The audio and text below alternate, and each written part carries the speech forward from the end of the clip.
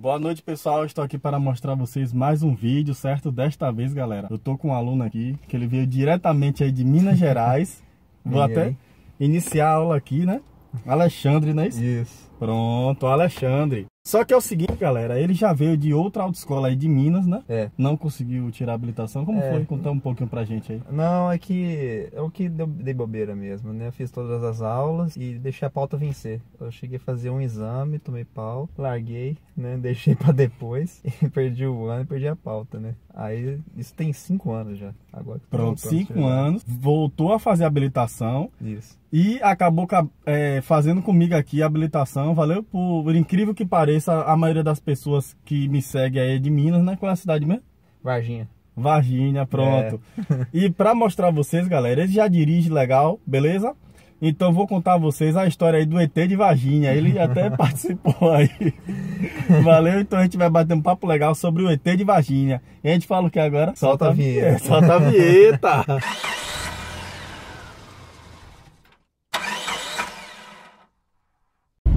Pronto, Alexandre, é o seguinte. Ei. A galera tá curiosa aí, né? Sobre o ET de Varginha. E eu também tô muito curioso, velho. Porque eu gosto dessas coisas, entendeu? De ouvir essas Entendi. histórias. É todo mundo que, que escuta que eu sou de Varginha sempre pergunta, né? Como é, que é É. a história. Quando você falou mesmo que era de Varginha, eu chego a me surpreendi, né? Ninguém. Eu falei, nunca duvida, vi né? ninguém assim, de- dessa região vir pra cá e contar a história aqui ao vivo aqui pra mim. Entendi. Então eu queria que você passasse aí pra galera também que tá assistindo a gente, valeu? Entendi. Como foi essa história, bicho? Então, aqui é direita, né? É, esquerda. É, tranquilo. É, A história é a seguinte, né? O... Acho que foi em 96, uma coisa assim. Eu tinha 3 anos de idade na época, né? Era novinho. Ah. E. Aí o que acontece? Começou que tem uns fazendeiros lá perto de Varginha que começaram a sumir alguns animais lá. Eles começaram a relatar isso. E como eles não, na época não tinham muito acesso à energia elétrica, né? Eles estavam tendo muito avistamento de, de objeto, né? O voador não identificado, né? E não só os, os, os fazendeiros, né? Mas o.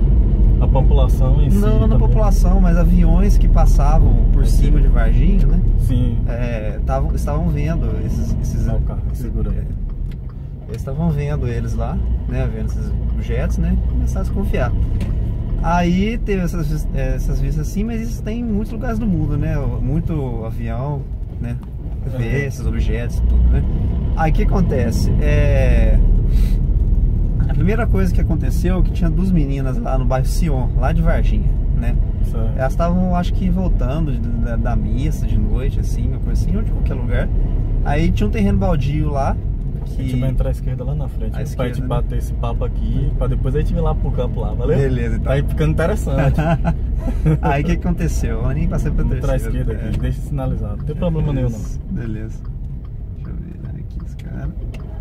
E aí, no caso, as meninas viram o OVNI lá, não? É, as meninas. Não, viram óbvio não, eles viram um ET mesmo. Foi mesmo. Foi. É, Vamos eles. direita. Beleza.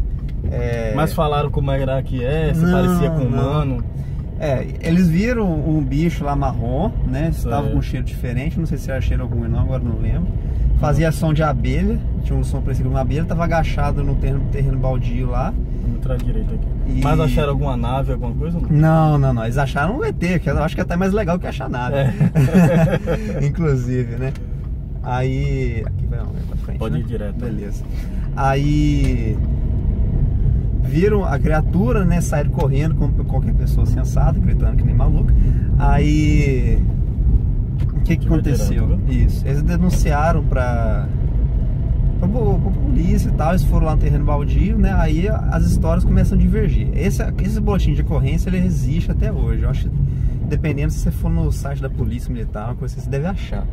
Mas é, eles foram até o terreno baldio lá para poder verificar o ocorrido, né? Uhum. E aí as histórias divergem, né? O pessoal fala que eles foram lá no terreno, não acharam, né? Mas ficaram vigiando o terreno o tempo o dia inteiro, né? Aí, próximo àquele terreno, tinha um barranco, né? E parece que muitos bombeiros eles foram lá para poder procurar. Eles acharam não só uma, mas acharam duas criaturas. E uma conseguiram capturar e o outro eles abateram, né? Tá vendo? Aí o.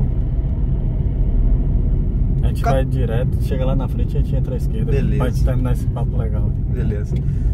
Aí eles é, acharam essas criaturas lá. Uma eles abateram, não sei o que aconteceu, agora não lembro da história. E outra eles levaram, é, capturaram e levaram para o único hospital, não é o único hospital da, da cidade, né? Mas é o hospital principal da cidade, que é o hospital regional, né? Certo. E para poder, parece que ela tava machucada, uma coisa assim, né? Depois a gente vai entrar à esquerda. À aqui, esquerda? É. É bom já ficar na faixa, dá uma segurada aqui. Beleza. Pronto. Sim, aí levaram pro hospital. Me levaram pro hospital Deixa eu colocar em neutro. Né? Ah, espera. Certo. e Levaram pro hospital. levaram pro hospital lá e era dois andares o hospital, até hoje é dois andares, né? E fecharam a parte de cima do hospital que fica a UTI, né? E minha mãe trabalhava na época lá e isso realmente aconteceu. Eles fecharam o hospital, não é fecharam o hospital, fecharam o segundo andar lá, né? E levaram essa criatura para lá para poder fazer autópsia, tentando fazer ela reanimar. Aí acontece que alguns falam que esse- essa criatura, depois que foi pro hospital, eles foram para Campinas, né? Hum, E depois sumiu. Fecharam o segundo andar lá, isso é uma coisa que minha mãe confirma, né? Que ela trabalhava na época, né? E falaram que naquele dia específico que rolaram essas pra coisas, esquerda né? aqui. Esquerda? É. Aí confirma que realmente fecharam o, o segundo andar do hospital naquele dia. Só que aí a história diverge, né? Algumas pessoas falam que fizeram autópsia, disseram que alguns, até uns médicos morreram na época, né? De ter contato com a criatura, que não sei o quê. E no final das contas eles levaram essa criatura para Campinas, né? Junto com o outro que foi abatido, supostamente, Certo. né? Vamos E depois, é... depois sumiu, simplesmente perderam o, o track dela lá, né? Não souberam mais pra onde que foi. Mas assim, chegaram. A população chegou a ver OVNI sobrevoando So- Chegou, cidade. na época sim, mas engraçado, mas engraçado que ser humano tem pra poder zoar é muito engraçado, porque tinha uns menininhos Hum. que empinava pipa com, Hum. com lanterna na ponta pra falar que era OVNI, né? Mas Ah. era, e toda hora, e naquela época, né, com essa história deu mu- muito ibope, né? Ah, Aí. Só que mesmo assim, muita gente afirma que viu o OVNI, né? E antes mesmo de ter essa história toda, estava tendo avistamento, né? De, desse, de OVNI, essas coisas assim, no, nos arredores da cidade, né? Então, eu lembro quando era criança que foi uma coisa muito esquisita que o exército ele chegou aí na cidade, né? Aí, tá Isso eu lembro.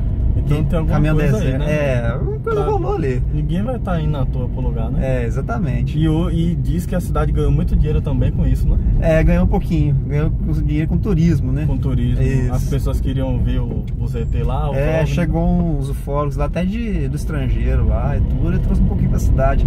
Se alguém for em Varginha lá, eles vão ver, perceber que todos os pontos de ônibus da cidade eles têm formato de disco voador. É sério? é sério. Ah, legal, velho. É bacana. E. E assim, você vê, tem muitas estátuas do ET lá pra poder promover turismo, essas coisas, nota do segundo até agora. É, promover turismo e tudo. Né? Tem uma estátua no centro da cidade lá, que tem a estátua do ET. Na verdade são três. E tem uma caixa d'água que eles adaptaram no centro da cidade pra poder colocar um disco voador em cima. Né? Pra poder atrair turistas, essas coisas assim. Foi bacana. E aí ganhou, gerou renda pra Ó, cidade. tem né? que tirar o deles, né? Vou entrar à esquerda agora. Beleza. Pronto, galera. Então, só foi isso aí, valeu? Daqui a pouco voltamos aí para mais informações. Pronto, galera. Como vocês viram é a história, né? Uma história surpreendente, né? Que chocou até o Brasil e o mundo, não É, foi? foi, teve até um fogo Teve uma repercussão. Brasil. Muito É. grande, né? Isso. E eu também gosto de ouvir essas histórias, galera. Quem é que não gosta, né? De ouvir uma história boa dessa? Deve ter escutado muita história nesse, nesse carro Foi, aqui. tá certo. Quem quiser ir pra Varginha lá, cidade boa, viu? Cidade boa pra morar. Tem muita saudade lá. Galera, é o seguinte, eu- o que eu tenho pra falar pra vocês é o seguinte. Se vocês moram aí em Varginha ou pela região aí próxima aí em Minas, né? Isso. Manda os comentários aí pra mim se já ouviu essa história, valeu? E muito obrigado aí pela audiência de vocês. Pode ser que eu tenha errado alguma coisa na história, mas esse comentário aí eu vou me corrigir se for necessário. Valeu, manda um tchau pra galera. Valeu, Um galera. abraço e tchau!